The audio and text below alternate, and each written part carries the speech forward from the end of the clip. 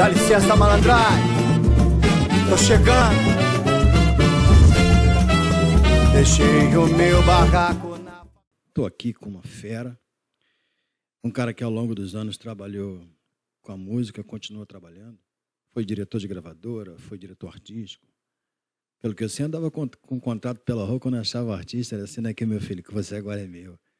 Com vocês aqui, Mauro Almeida, presidente da Ordem dos Músicos do Brasil, que está hoje fazendo um trabalho, está reformulando a Ordem dos Músicos e dando respeito a essa categoria que sempre mereceu respeito, mas que nunca foi muito respeitada.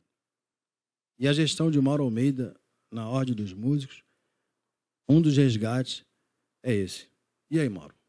Fala para mim como é que tá lá. Bom, em primeiro lugar, boa tarde. Obrigado ao Fraga pelo, pelo prazer, pela honra de estar aqui no Café com Samba e poder dar algumas explicações a alguns músicos do Brasil, né? Porque o músico ele é desinformado, ele não procura saber das coisas da sua profissão.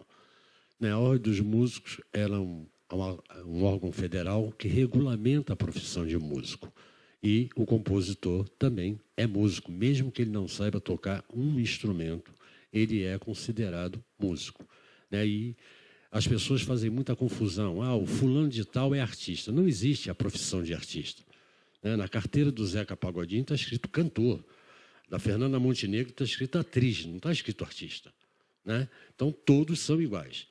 E a Ordem dos Músicos foi criada em 1960 pelo seu Juscelino Kubitschek, pela luta de grandes músicos que viviam presos em cana, porque eram tratados como vagabundo, porque não era uma profissão regulamentada. E a história da criação da Ordem dos Músicos é muito bonita. Em 64, com o regime militar, a ordem foi tomada. E a partir daí, ela entrou em decadência e foi mais de 40 anos né, que ela foi perdendo o amor dos grandes músicos e não conseguiu conquistar os mais novos. Nós, há 10 anos atrás, começamos uma luta em São Paulo. Foi um, três loucos que não se conformavam com aquilo. E depois de oito anos de luta, nós conseguimos devolver a ordem dos músicos aos seus donos, que são os músicos e os compositores do Brasil. Não somos Deus para, em dois anos, conseguir resolver 40 anos de abandono. Né? São várias leis hoje, a nível federal, estadual e municipal, que estão sendo criadas no Brasil. Ainda há muitos tumores malignos em vários estados que precisam ser removidos, porque a nossa luta, a nossa bandeira, ela se, se refere a três palavras. O que nós queremos: respeito, valorização e dignidade. O músico é um trabalhador como outro qualquer. Nós queremos os mesmos direitos. Depois do futebol e da construção civil, quem mais gera empregos diretos e indiretos nesse país é a música. Para vocês terem uma ideia, ano passado no Rock in Rio tocou 600, 700, 800, mil músicos. Só lá dentro do evento tinha 13.600 pessoas trabalhando. Fora os 300 mil turistas que vieram para o Brasil, dá emprego para garçom, para pessoas que trabalham em hotel, mexer com a rede hoteleira, o cara que vende picolé na praia. E isso acontece no país todo de segunda a segunda. E hoje o poder público consegue entender isso. Música é arte, músico é profissão. Então, aos poucos, nós vamos lutando por leis. Teve uma aqui hum, no bloco anterior que é uma coisa que eu não me conformo, eu acho que não custaria nada, na hora que o cara está cantando, no cantinho da televisão aparecer lá, música Eu Te Amo, de Fraga e Adalto Magalha, ou de Fraga e Adilson Gavião. O que, que custa isso? Não, no final do programa aparece aquela lista de caracteres. Às vezes você quer saber quem é o compositor daquela música, aquilo passa assim. Blu, blu, blu, né? O único artista que eu vejo, que eu vou a show, que eu vejo, ter a dignidade de falar: olha, essa música que eu vou cantar não é minha. Eu só canto, essa música é de Fulano e Ciclano. E se o compositor estiver no show dele, ele chama para subir em cima do palco, que é o Zeca. É o único que tem essa dignidade. Semana passada, no próprio programa do Faustão, a Joana foi cantar a música, foi um grande sucesso dela. E ele perguntou como nasceu essa música, não sei o quê, não sei o quê. Eu sei que a música é do Michael Sullivan e do Paulo Massadas. Não, foi uma música que eu ganhei de presente de dois grandes compositores. Ela não teve a dignidade de falar o nome dos caras. Sabe? E a maioria das pessoas, o povo, não tem acesso a esse tipo de informação. Isso chega a ser irritante, né? Chega a, a mim irrita profundamente, né? Irrita profundamente porque é, é, a falta de respeito pela criação, né? Lógico, avançou-se muito. Né? Hoje, qualquer site que você tente baixar uma música ilegalmente, todos eles estão fora do ar. Né? Você não consegue mais baixar música de graça, de jeito e maneira. Né? Só que nós não chegamos a esse ponto ainda. Né? Os nossos problemas são tão grandes, de 40, por mais de 40 anos de abandono, nós ainda não chegamos, porque, como o ministro da Justiça disse, o único órgão que pode chamar o ECAD para conversar, e eles vão ter que vir, são vocês. Porque vocês, além de ser um órgão federal, vocês representam os músicos e os compositores do Brasil. Então, nem que seja na justiça, eles vão ter. Porque essas comissões que se fazem aqui, de artistas que recebem 50, 60 mil por trimestre, isso é para jogar para arquibancada. Nenhum deles está preocupado com o compositor. Nenhum deles está preocupado com o compositor. E o compositor é a, é a mão de obra, é a obra-prima, é o cara que criou. É o operário, né? Sabe? E, e eu tinha, tinha um. No tempo da Warner, né, no tempo que eu produzia e fui diretor artístico da Warner, é, a coisa que eu tinha um advogado que a especialidade dele era direito autoral. Ele dizia: Mauro, tem três coisas que funcionam nesse país. Naquele tempo, né? não pagou a pensão, vai em cana. Dificilmente um trabalhador perde na justiça do trabalho e acredite, Mauro, direito autoral. Então, direito autoral é uma coisa muito séria. Nós ainda não chegamos a esse ponto, né? Mas vamos chegar. E a, como profissional da música, eu comecei com 14 anos de idade, tocando nos bailinhos da vida, né? Fraga frequentava a minha casa, era amigo dos meus irmãos. E... Pô, eu falava, eu vi uma hora ainda passar assim do, do quarto pela sala para ir para a cozinha, que ele acordava tarde, que passava a noite trabalhando. Aí eu olhava assim, aquele cara grandão, cabeludo. Eu falei, um dia vou ser igual esse cara. E hoje está aqui. é, a vida, a vida separa a gente. Mas eu tenho um amigo meu que fala uma coisa muito séria. O mundo, não é que o mundo seja pequeno, nós é que somos grandes demais e não temos noção disso. E aí houve uma época que várias pessoas que tocavam nos bailinhos da vida foram entrando em gravadoras. Foram entrando em gravadoras e naquele tempo 70% do que tocava no Brasil era música internacional. Quatro anos depois, esse quadro tinha mudado. 70% do que tocava no Brasil era música feita no Brasil, por músicos brasileiros, cantores brasileiros, é, autores brasileiros, e esse número perdura até hoje. Né? Agora, teve um negócio também, né? A, a, qualidade das músicas americanas que chegavam aqui, na época, Stevie Wonder, Jackson 5, James Brown, forçaram também a que nós, brasileiros, começássemos a fazer, é, dentro daquele segmento, músicas de muito boa qualidade, que a gente acabou invadindo as rádios com músicas muito boas, grupos bons, excelentes cantores, e por aí foi. E também tinha uma coisa, como nós vimos do bailinho, e na verdade quem tocava em bar era uma rádio ambulante, a gente escutava muita coisa do exterior. Então, quando nós começamos a entrar nas gravadoras, não, metal não é assim, não, bicho. Não, porque a gente estava acostumado com metal do que se Sunshine Band. Não, não, não. Não é assim, não, essa mixagem não, cadê o pedal da bateria? Não tem.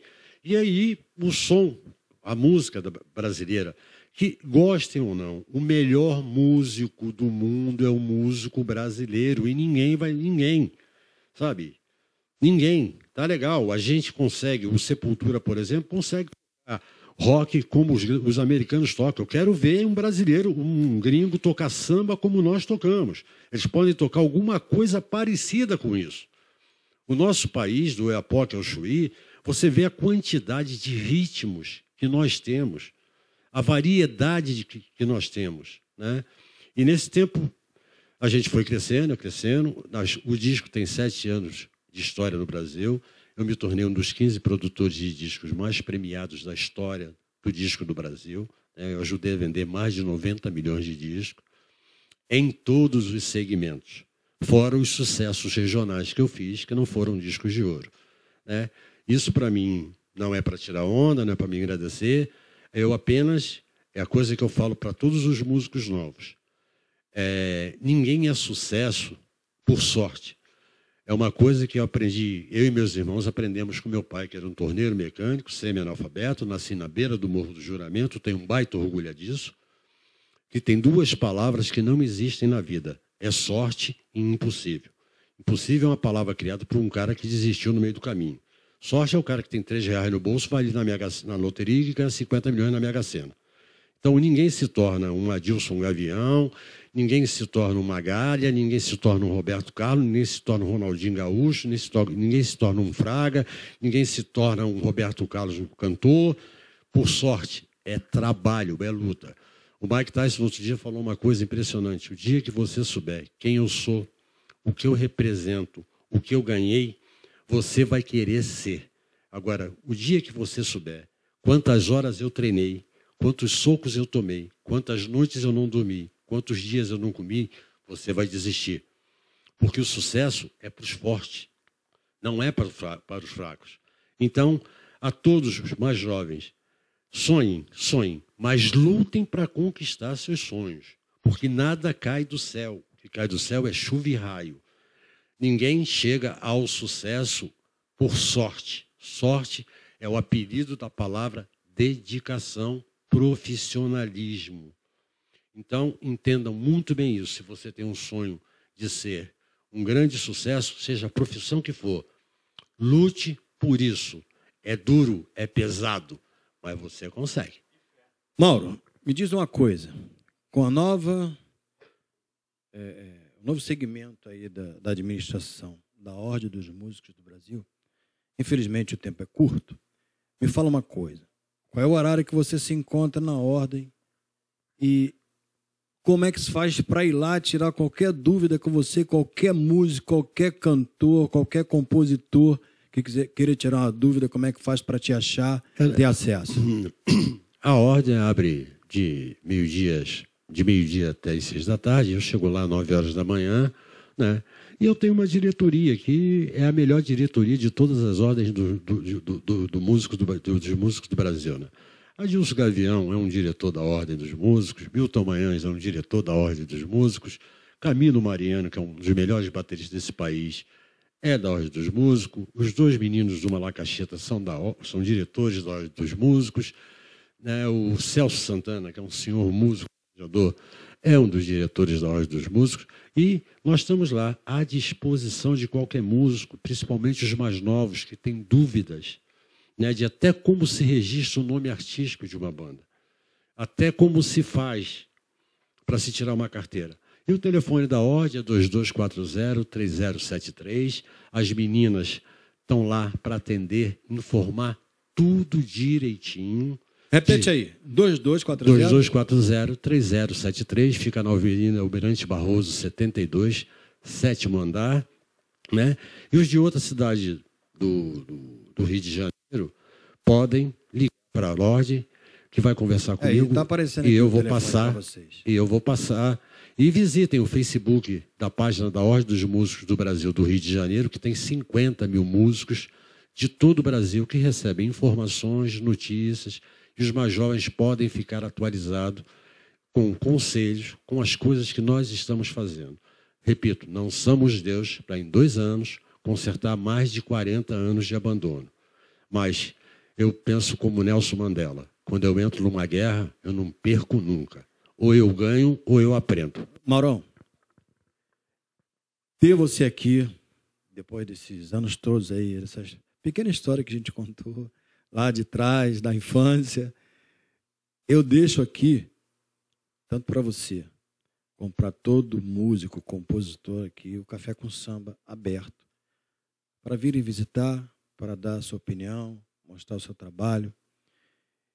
E qualquer novidade que tenha na Ordem dos Músicos do Brasil que você queira anunciar, meu amigo, é só falar, liga, passa um zap, tem um espaço reservado para você aqui. É, você, a gente já se fala pelo zap mesmo, né? Então, é, e é bom, quer dizer, programas como o Café com Samba deveria existir uns 10 mil no Brasil. né?